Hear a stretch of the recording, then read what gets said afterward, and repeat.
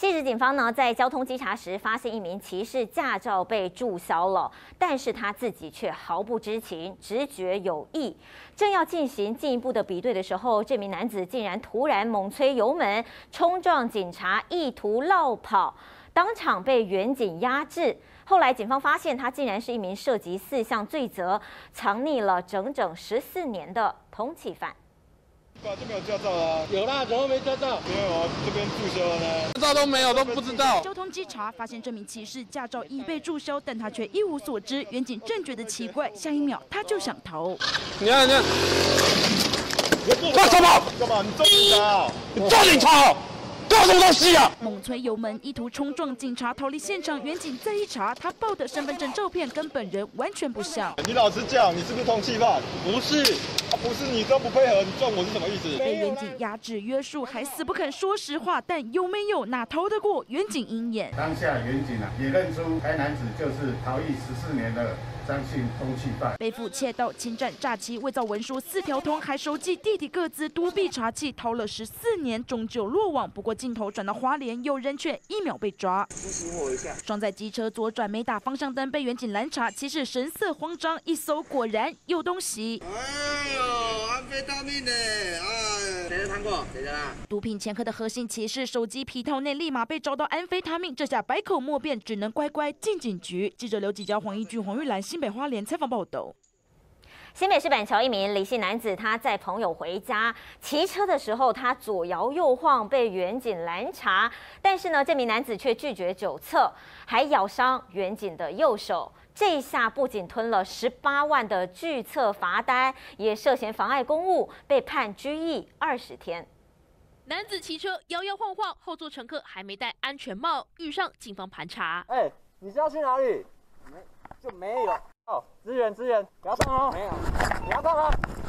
骑士看到远景，转头绕跑，不愿配合，一路跑给警察追。走走。我跟你讲，你这个做。我跟你讲啊，你这样要哪里去？远警费了好一番功夫把他拉住，嫌犯却突然失控，和警方爆发冲突。在咬我哈？这样子啊？你这样子啊？凌晨三点多，新北市板桥发生警匪追逐，嫌犯被远警团团包围，他居然嘴巴张开一咬，咬伤远警右手。幸好路过民众不顾手里还拎着宵夜，冲上前帮忙抓人。蹲下，蹲下，蹲下，我蹲下，蹲下，蹲下。叫支援，帮我叫他们全部过来，然后到了。李姓嫌犯凌晨骑车载朋友回家，他满身酒气，在路上蛇行，遇上远警拦查，嫌犯动手袭警，跑了两百公尺落网，被以妨害公务送办，挨罚两万元，加上警方对他开出一张酒驾拒测十八万的罚单，这次代价二十万。咬我哈！警方调查，其实早就是酒驾累犯，酒醒后变成自己太紧张才会张口攻击远警，也让他吃上官司。记者林崇安、陆雨欣采访报道。好，真的生活当中什么人都有。来看到是台大医院的急诊室，有民众报案说他的机车被偷了。警方调阅监视器，发现了有一名男子呢，他穿着花衬衫，大拉拉把民众的车骑走了。悬线找到人，这名男子竟然还很无辜的表示说。呃，他因为自己去打了新冠疫苗，所以呢副作用造成身体不太舒服。看见机车没有拔钥匙，所以呢他就把机车给骑走了。那他说：“我想赶快回家缓解打疫苗的不适。”今天是第一把。今天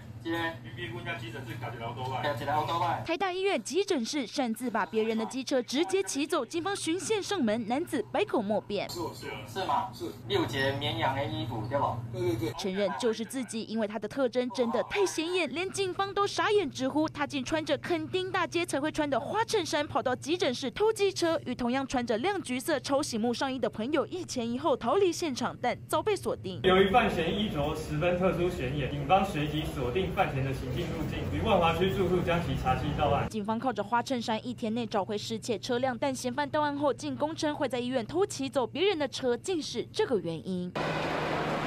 去医院打新冠疫苗，打完后身体不舒服，看见急诊室一部机车钥匙没拔就直接骑走，想赶快回家缓解副作用。但这名四十七岁记性男子过去早有窃盗毒品前科，不管偷车是不是因为打疫苗不适，还是得遭到法办。记者黄义俊、黄玉兰台北采访报道。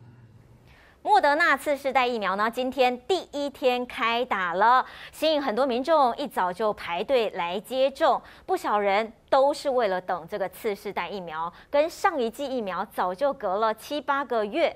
不过根据研究呢，第四季打次世代疫苗，那么比旧疫苗抗体效度多了一点六八倍。医生也表示了，与上一季隔太久，保护效力差异就更大了。而至于副作用呢，则是与原始疫苗是差不多的，大多是轻重度的这种副作用。一起来看。一大早接种站，民众大排长龙，全都是为了来打疫苗。BA. 点万次世代疫苗九月二十四日开打，北市有五家医院接种，其中台北田径场接种站出现施打潮。你政府的政策有问题嘛？老早就该买了。一月的时候期待这一季吧，安心少出入公共场所。第一阶段可接种族群是六十五岁以上长者和长照机构住民，以及十八岁以上免疫不全及免疫力低下者。不过，符合资格的民众可要特别注意，次世代疫苗不能当做第一剂打，而且跟前一次疫苗要相隔三个月以上。国外研究更指出，第四剂打次世代疫苗比旧疫苗抗体效度多一点六八倍，抗体一点点的一个提升，你上次的感染或上次的接种已经太久了，保护力都已经退的话。就会产生很大的保护力的一个差异。双北首天施打状况，台北市预约率百分之四十六点五，而且打第五剂有六千九百八十七人。新北市预约率百分之三十六。另外，国外研究次世代疫苗副作用以轻中度为主，主要是注射部位疼痛、肿胀、疲倦、肌肉酸痛等等。跟打原始的疫苗产生的副作用相类似，比较能够预防 BA. 点五，因为他们。的基因形态比较相近。进入秋冬，恐怕新冠、流感双重夹击。十月也将开打流感疫苗，可与新冠疫苗同时施打，但需要一只打左手，另一只打右手。医生也提醒，不舒服可能会加倍。在面对国门即将大解封，符合资格的民众能打就快打。这里晴、杨松燕台北报道。意外消息来关注了。今天清晨五点多，在新北泸州传出了铁皮工厂发生了大火。透过画面，你可以看到呢，现场是烈焰冲天哦，远远就能够看见这个浓烟直窜天际。消防队获报之后，派出了上百名的消防队员紧急灌救，最后在七点半左右顺利将火势扑灭。浓浓黑烟直冲天际，天空被烟雾笼罩，一片雾蒙蒙。多辆消防车在路口随时待命。啊，收到，收到。啊，目前目前来到第一面，第一面。直接火灾现场，火舌不断从屋内窜出，橘红色火光伴随着黑烟，几乎快把铁皮屋给吞噬了。不时还伴随着爆炸声响，消防人员补多条水线，分秒必争灌救。巷弄地板已经都是水痕，火势还是烧得非常旺盛。老板紧急赶到现场，看着被吞噬的工厂，满脸无奈。我老做老师的啊，哎，你是听讲为这边烧起啊？未来这烧出来了对吧？台电人员也赶到现场查看电箱状况，就怕被火焰波及造成二次爆炸。二十四号凌晨五点多，新北泸州三明路五百八十号铁皮屋工厂突然全面起火燃烧，火势瞬间蔓延，就连周围的工厂通通逃不掉。三明路燃烧了四间工厂，中正路六间工厂也惨遭波及，总共十间工厂遭火纹身，燃烧面积达到了七百九十平。